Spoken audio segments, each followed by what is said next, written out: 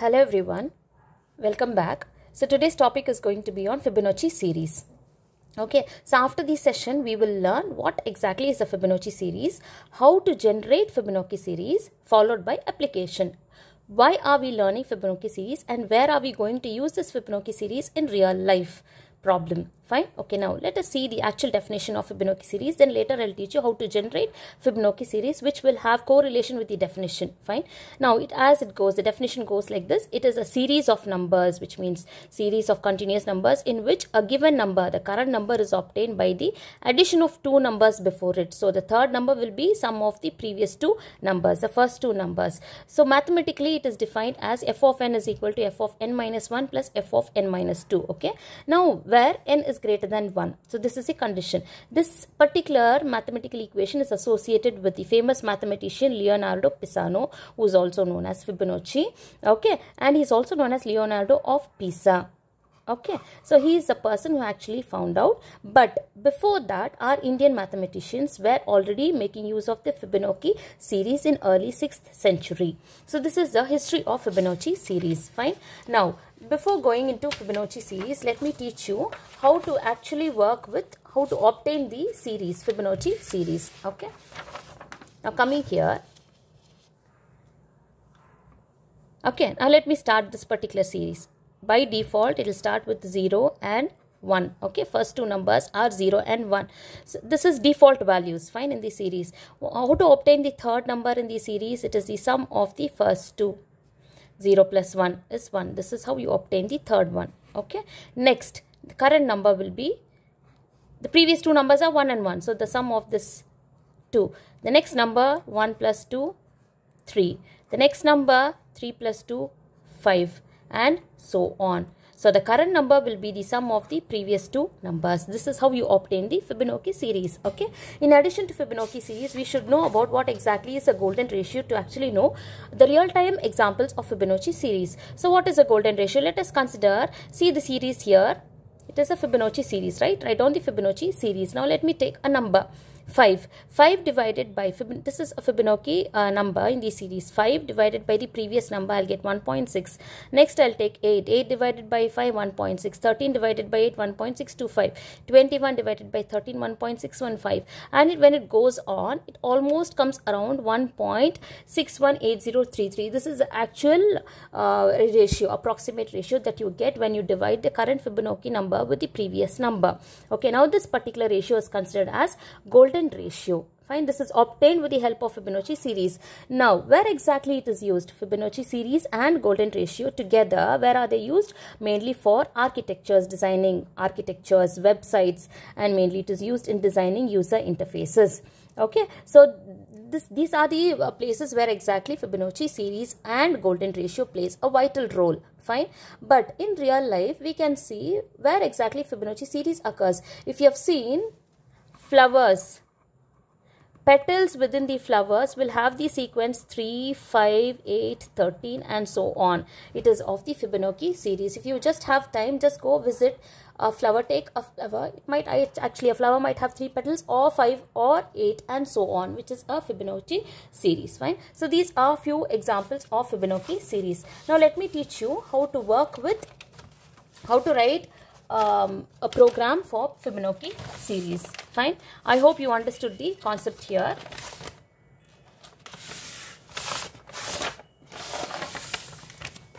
Okay. Now see here, I'll teach you how to write a Python code, Python program to generate for generating Fibonacci series. Fine. Now, what is the main logic? Now see how do i write? We first we should mathematically know how to obtain the fibonacci series right? So it is 0 1 1 2 3 5 and so on. Okay. What did i say? I said the first two numbers default numbers should be 0 and 1 so what i do? I initialize a is equal to 0 b is equal to 1 initially since it is default okay? And immediately it should be printed onto the console right? So i write print of value of a print value of b. Okay, then the third number is sum of the previous two numbers 0 plus 1, third number in the series is obtained which means a plus b right? Or see the code here sum is equal to a plus b. So i've got 3 here sum is equal to a plus b the third number in the series. Then i have to print it on the console. So print of sum sum has in, within the variable sum so i am printing right? Next after printing one it moves on to the next number. The next number in the series will be sum of the previous two numbers. What are the sum uh, previous two numbers? It is see the output here so 0 after print a and b it is 0 and 1 sum. What is sum? Sum is 0 plus 1 sum is equal to 0 plus 1 so i'm printing sum. So 1 will be printed here. Right. So the next number in the series will be the previous two which means a value it was 0 b value was 1 right? Now what should be a value? A value should be b value should be moved to a and sum value should be this is sum. Sum value should be moved to b right? It should be moved to b. So see the coding here. A is equal to b. B is equal to sum because I need to find out again sum is equal to a plus b right? So I need to have the current previous two numbers. That's why we write these two instructions. Okay. Now after this my output will be 0 1 and 1 right?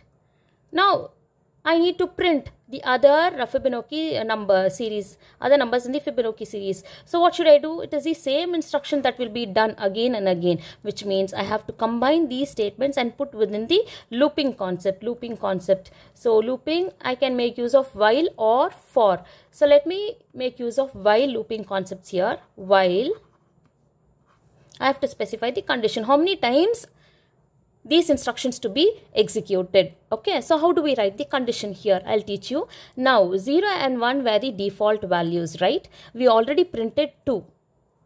Okay, now I need to stop my series somewhere, which means I, I need to uh, read the terms, number of terms from the user.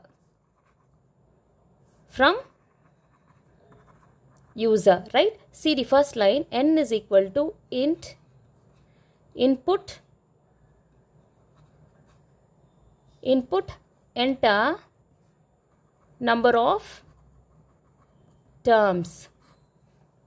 Okay now suppose i write n is equal to 5 which means output i have to get 0 1 1 1 plus 1 2 2 plus 1 3 so i have to get 0 1 1 2 and 3 how many terms are there? 1 2 3 4 5 so n will represent the number of terms in the output the limit okay starting from 0 okay so what should i do? Out of 5 i've already printed 2 right? I've already printed 2 which means I have to start from the third number. By default for any series n can be 10 n can be 15 for any terms I have to start printing the value from 3 so what do I do? I'll have one counter i is equal to 3 because already 1 and 2 is printed okay? Now see the condition here. I less than or equal to n. 3 from 3 to n i have to check and i have to execute this. Got it? Then after each iteration i have to give i is equal to i plus 1 i'll teach you why i'm writing this particular statement here. Fine? Then finally print program executed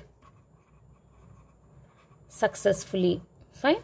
Okay. This is the part of the code. Only this much is the code. N is equal to int input. Enter the number of terms. A equal to 0 b equal to 1 i is equal to 3 print a print b. Then while i less than or equal to n sum is equal to sum a plus b. Print of sum a equal to b b is equal to sum i is equal to i plus 1 this comes under looping. Finally program executed successfully. Fine? So let me trace the code now. Tracing okay a equal to 0 b equal to 1 i is equal to 3 fine. So initially a equal to 0 b is equal to 1 i is equal to 3 then print a and print b is the statements output. Print a and print b what is a value? 0 what is b value? 1 so 0 and 1 is printed. Now what is i? I is equal to 3 right? Now it will come here. See the tracing part. Trace 1 i is equal to 3 3 lesser or equal to what is n value? N value is 5 according to my uh, uh, assumption. So n is equal to 5 here. Okay? Now it will come. 3 is lesser or equal to 5 it is true. So it enters. What is sum? Sum is equal to what is a a 0 and 1 0 plus 1 sum is equal to 1 after that what is a value? It is value of b. What is b 1 what is b value? Value of sum. So it is 1 now the current value of a and b are 1 and 1 and then i'm incrementing. I is equal to 3 plus 1 is equal to 4 so i value is equal to 4 okay? Which means three values sum i'm printing right? So 1 sum after sum is equal to a plus b I have to print 1. So three numbers are printed. Now I have to move to the next term. That's why we increment i is equal to i plus 1.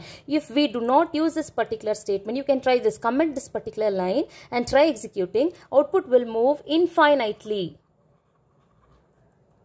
okay infinitely fibonacci series will be displayed if you don't give this i is equal to i plus 1 1 is to print the next number so that only up to the n terms i will get the output. If not it moves infinitely. Fine.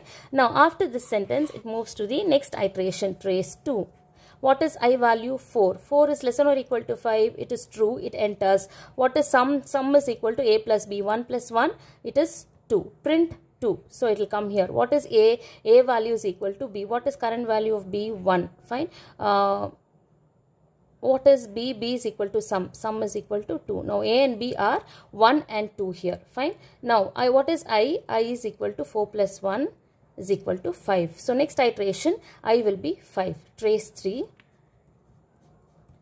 trace 3 5 is less than or equal to 5 it is true. So it enters what is sum sum is equal to a value is 1 and b value 2 1 plus 2 is equal to 3 print sum. So 3 will be printed onto the terminal.